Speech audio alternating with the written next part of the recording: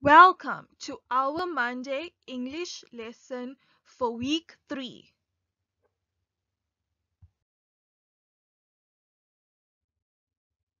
Good morning class. Today is Monday, the 2nd of August 2021. Let's make it a great day. Do you remember what you've learnt about last week? We learnt about the life cycle of a frog. Life cycle. That means the different stages of growing up. We've learnt that a frog has four stages in its life cycle. The egg stage, the tadpole stage, the froglet stage, and the adult frog stage. We know what happens in each of these stages. Today we will learn more interesting facts. Are you ready? We have spoken about groups of animals in class and those groups were mammals and birds. Now we are talking about frogs. Do you remember the name of the group that a frog belongs in? Frogs are amphibians.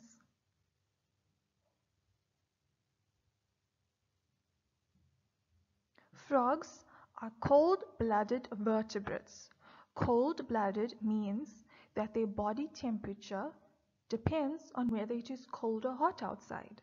Vertebrates means that it has a backbone. It has a skeleton inside its body.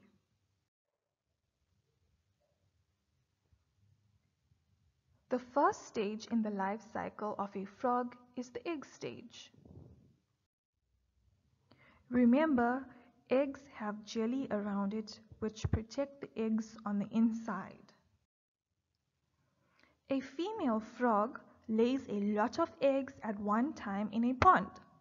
The eggs float on water in a jelly mass or cluster.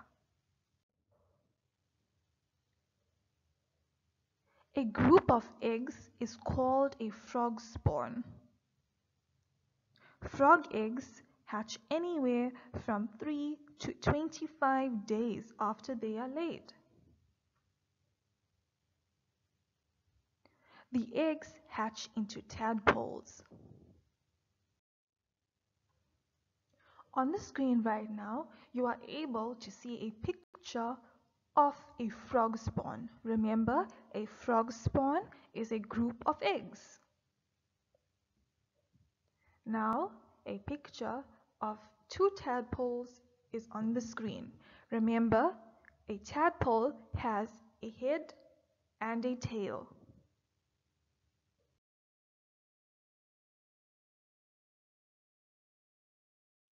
Remember learners, Tadpoles have gills which help them to breathe underwater. Tadpoles eat small water plants. During the final stages, the tadpole's mouth changes from a small mouth at the front of the head, as you can see in the picture, to a large mouth as wide as the head. They usually do not have arms or legs until they change to adulthood. That is when they become an adult frog. They have a large flattened tail, as you can see in the picture, with which they swim by moving it side to side, similar to most fish. So its tail helps the tadpole to swim. And in the picture, you can see a small mouth at the front of the head but as time goes by, the mouth grows as wide as the head.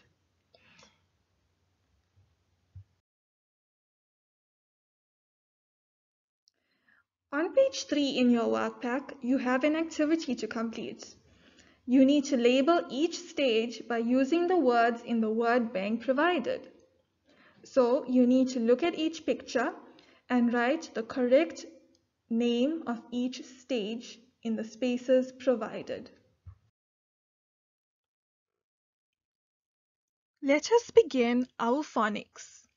A with magic E. As you know, there are many words which have A with magic E phonic in it.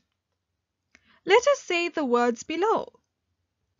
Late, rake, cane, made, cape, pane, lake, fake, gate.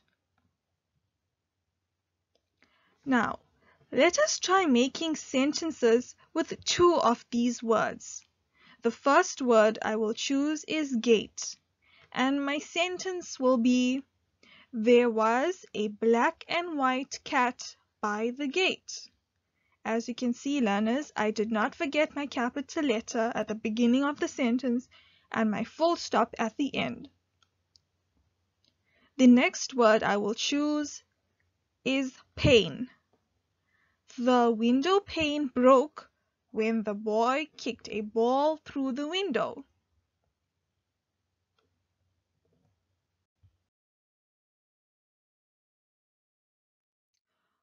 On page 3 and 4 in the workpack, you will find a phonics activity. The phonic, remember, is A with magic E. You need to make your own sentences with the words provided below. The words are make, bake, and take. You need to make one sentence for each word. Let us go over the grammar skills which we have learned so far. We have learned about full stops and capital letters. When do we use full stops? We use a full stop to end a sentence. When do we use capital letters? We use a capital letter when we write the word I. We use a capital letter when we begin a sentence. We use a capital letter when we write the names of people, places, days of the week, and months of the year.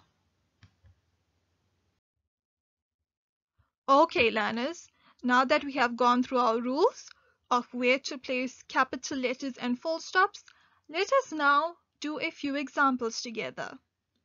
We will go through these few sentences and identify places where we would put a capital letter and a full stop.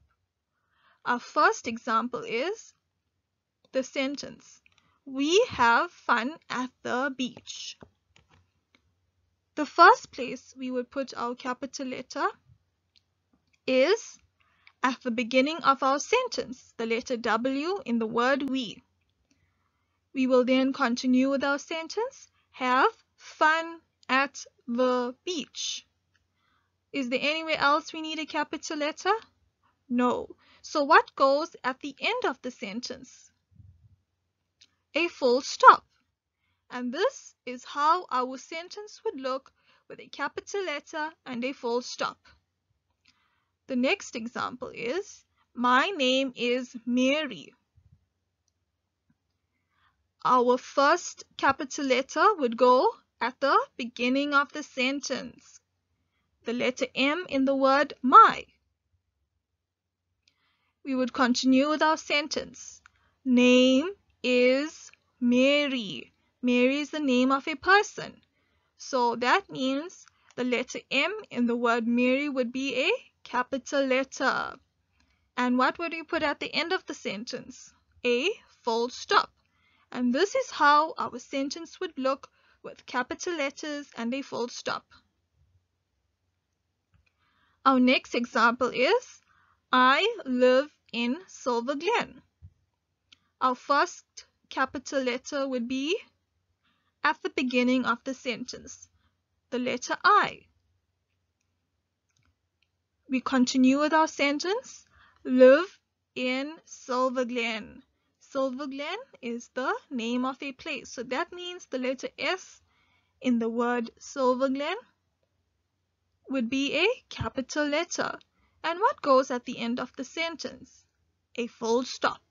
And this is how our sentence would look with capital letters and a full stop. Our last sentence. can you tell me where to place my capital letter? At the beginning of the sentence, the letter M in the word my. And we would continue with writing our sentence. Mum's birthday is in June. June is the name of a month. So which letter would be a capital letter? The letter J in the word June. And what goes at the end of the sentence? A full stop. And this is how our sentence would look with capital letters and a full stop.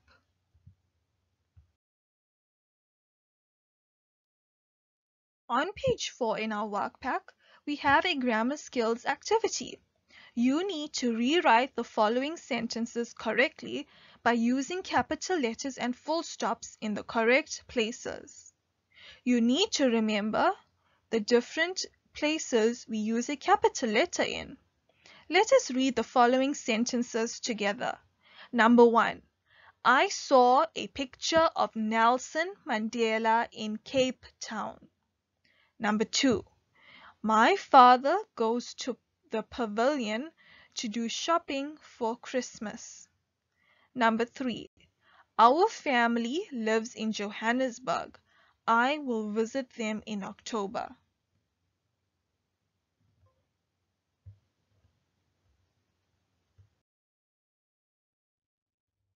Learners, today we will be learning about pronouns. Pronouns are words which can be used to replace nouns. Nouns are naming words. So today we will be learning about the pronouns he and she. If we talk about a girl or a boy, instead of writing sentences like the girl is happy, the girl goes to the park, the girl plays with a dog. What do you notice about these sentences? It has the words the girl in all of them. If we look at the second column, let us read those sentences. The boy likes to play soccer. The boy is happy. The boy drinks water. What do you notice about this set of sentences, children? It has the words the boy in all of them. Now, the word she can be used instead of saying the girl continuously. And the word he can be used instead of saying the boy continuously. So let us try reading the following sentences by using pronouns. The girl is happy. We will start off by saying the girl so that in the rest of the sentences we will know that we are talking about the girl. The next sentence will be, she goes to the park.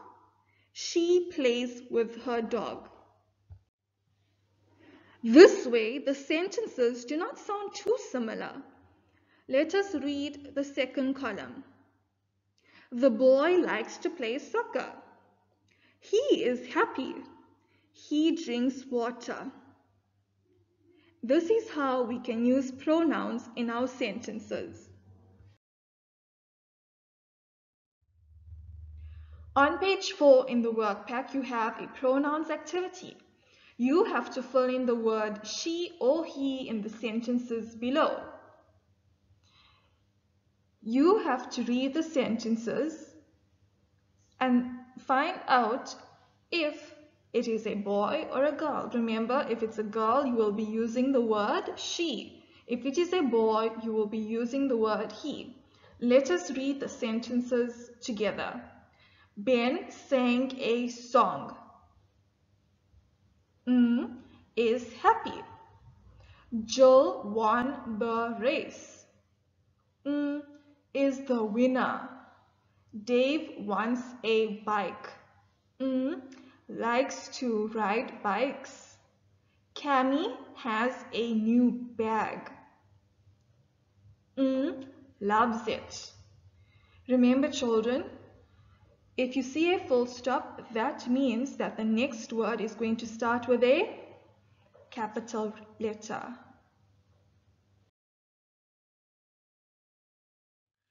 Today we will be learning more about building sentences. A full sentence needs a subject A subject tells us who or what the sentence is about. A full sentence also needs a verb or an adjective. A verb, remember, is an action word and an adjective is a describing word. So this part of the sentence tells us what the subject does or is. So let us look at the following sentences and find out which part of the sentence is the subject and which part of the sentence is the verb or adjective. Mrs. Winter is our teacher. Which part of the sentence is telling us who the person is? Mrs. Winter. And which part of the sentence is telling us what she does? The rest of the sentence is our teacher. The boys played with the ball. Which part of the sentence is telling us who? The boys. And which part of the sentence is telling us what they are doing? Played with the ball. Our cat was napping. Which part of the sentence is telling us what? Our cat. And which part of the sentence is telling us what it is doing? It was napping. Good. Let's go on to the last one. The bus was late to school. Now, children, which part of the sentence is telling us what the sentence is about? The bus. The bus is the subject. And now, which part of the sentence is telling us what the subject does? Was late to school. Now, children, do you see the subject part of our sentence and the verb part or the adjective part of our sentence. Now, remember, when we write sentences, we must know which part of our sentence is a subject and which part of the sentence is our verb or adjective. This will help us to build sentences. Now, when we try to build sentences, we can also think of the following which will help us.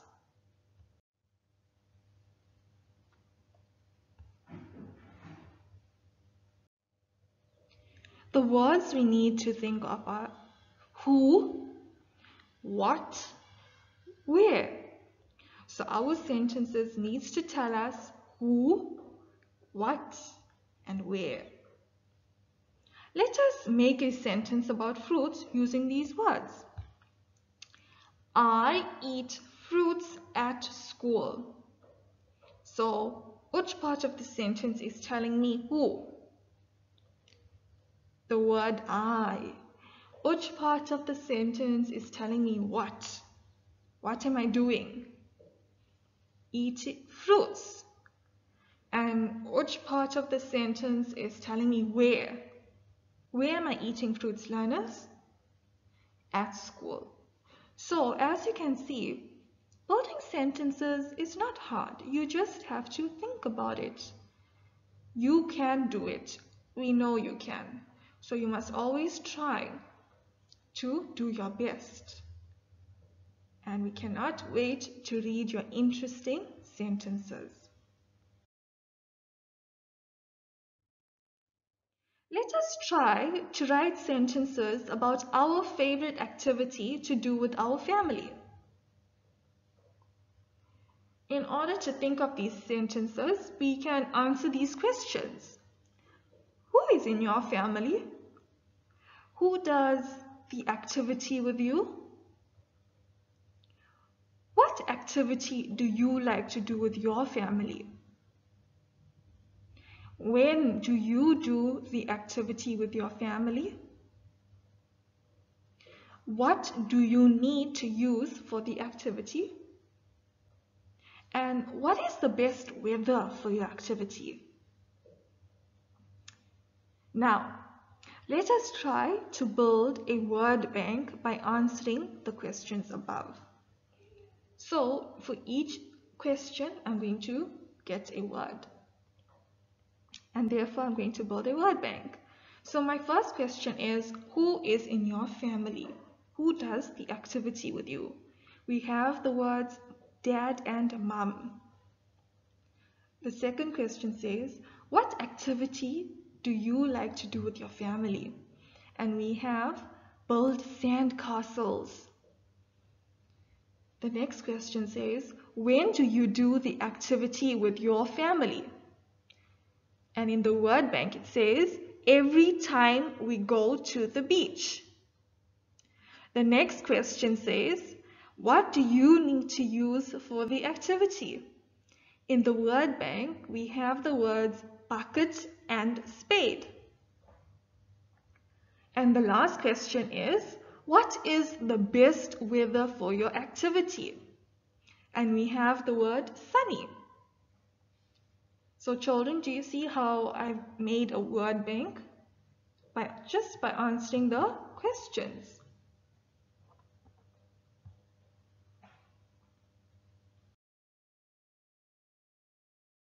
Now, by using the words in the word bank, we will build sentences. Remember, this is our word bank. So my first sentence it can be, my dad and mom are in my family. The second sentence I can make is, our favorite activity is to build sandcastles. My next sentence can be, we build sandcastles every time we go to the beach. My next sentence can be, we use a bucket and spade to build sandcastles. And my last sentence can be, we build sandcastles on sunny days.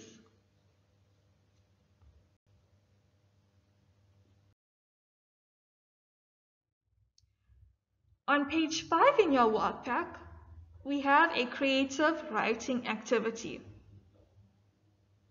You need to write three to five sentences about your favorite activity to do with your family. You can describe the activity. How does it make you feel? When did you do this activity with your family?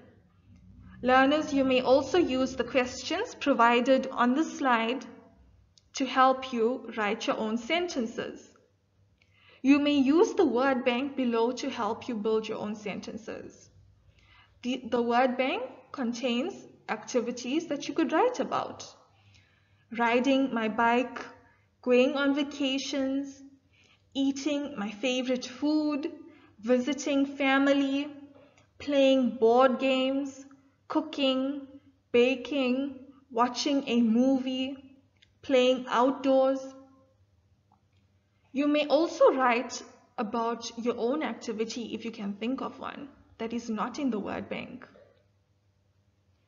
Remember children, you can use your red dictionary or you may use your English reader to help you with different words which you can use in your sentences. The next activity on page 5 in the workpack, you need to draw a picture of yourself doing your favorite activity with your family. Now this activity needs to match your sentences. So if you're talking about riding your bike, then you may draw a picture of you riding your bike with your family. If you writing sentences about watching a movie, then you can draw a picture of you and your family watching a movie. So I am really excited to see your wonderful sentences. I hope you enjoyed this creative writing lesson.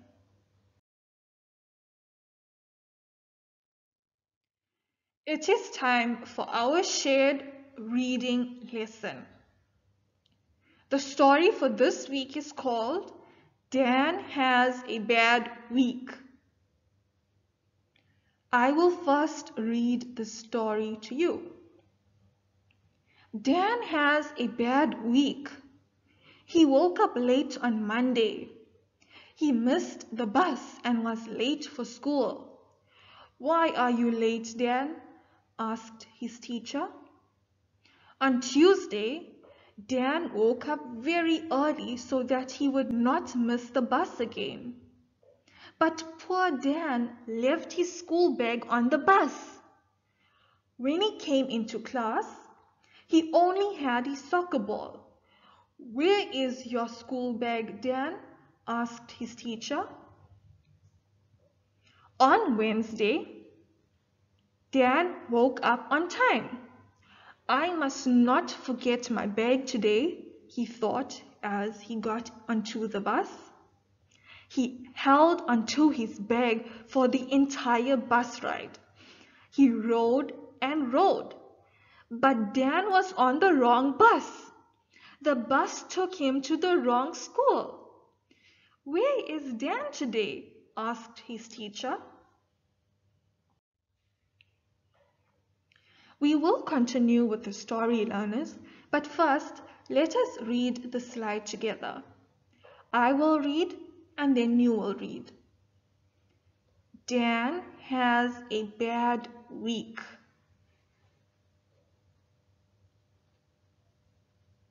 He woke up late on Monday.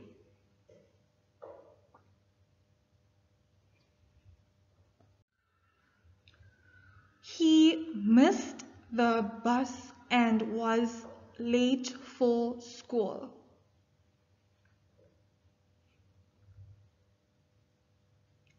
Why are you late, Dan? asked his teacher.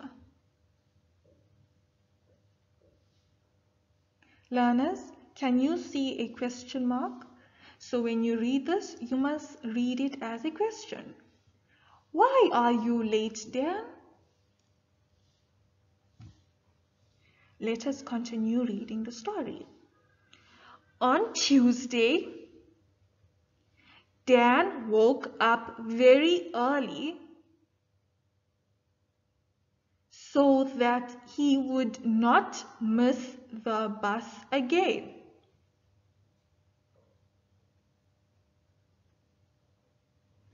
But poor Dan left his school bag on the bus.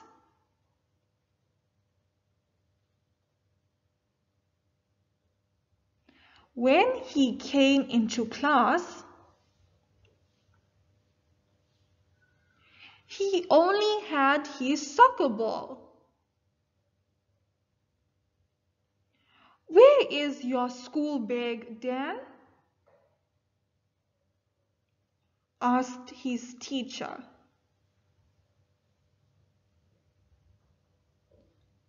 Remember learners, the question mark, so you read it as a question. And at the end of the sentence is a full stop. So that means you must stop. Wait for a while, then continue.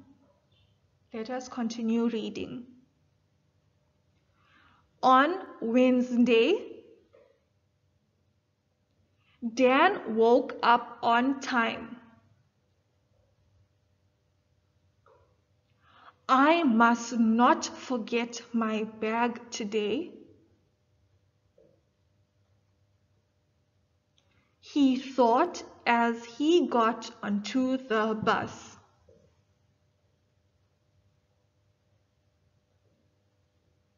He held onto his bag for the entire bus ride. He rode and rode. But Dan was on the wrong bus.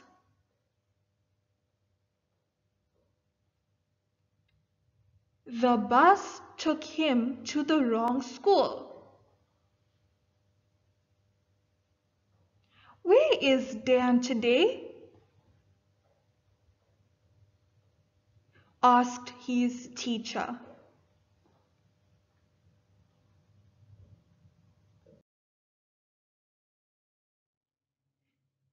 Let us continue with the story. I will read first.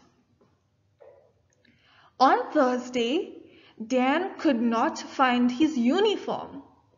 We have swimming on Thursday, Dan thought. So Dan went to school in his swimming costume. Where is your school uniform? asked his teacher. On Friday, Dan woke up very early. He had his uniform on. He clutched his bag and he got onto the right bus. He arrived at school so early it was still dark.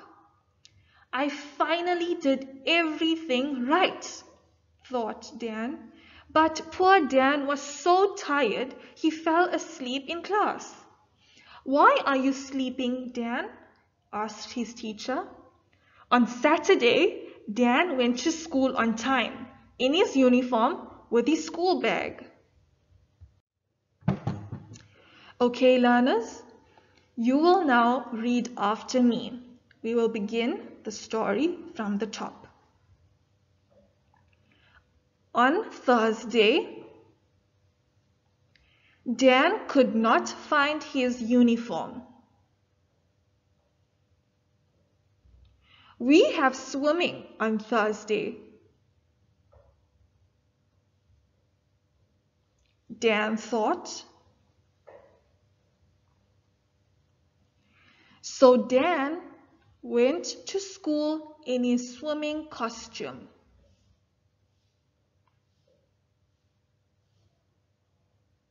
Where is your uniform?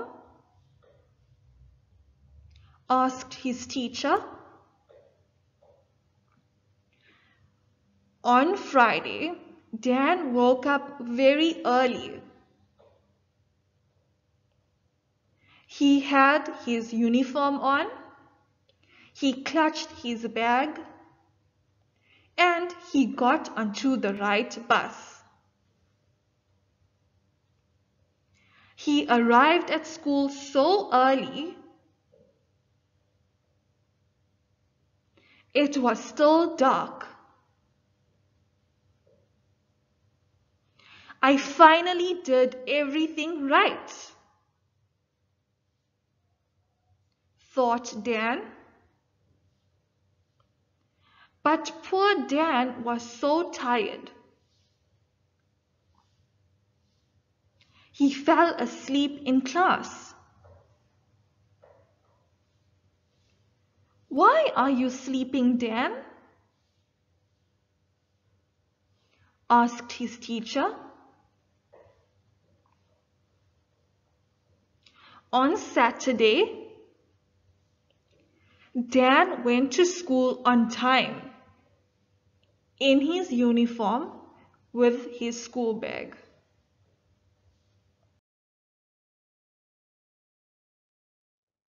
Let us continue the story. I will read first. Today I will get it right, he thought. I will stay awake all day but when he reached his school, the school gate was locked. Silly me, there is no school on Saturday, Dan said. On Sunday, Dan went to his cousin's birthday party. He was so excited he tripped and fell onto the cake. Oh no, Dan thought. What a bad week.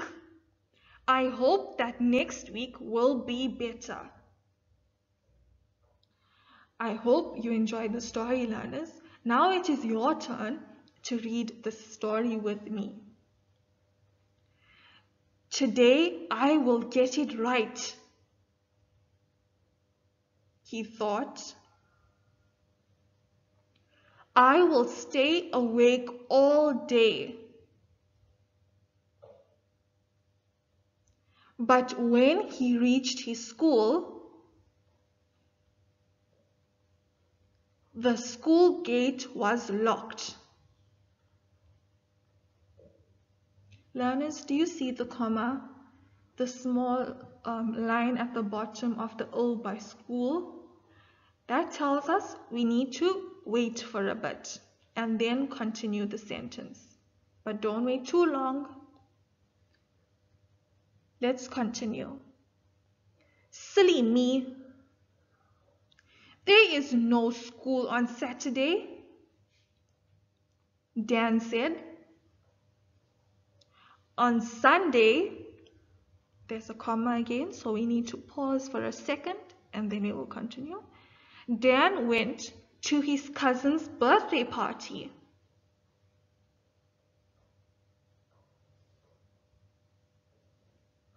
He was so excited he tripped and fell onto the cake.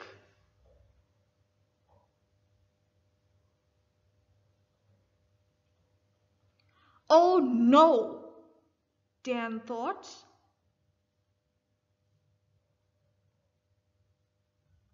What a bad week. I hope that next week will be better.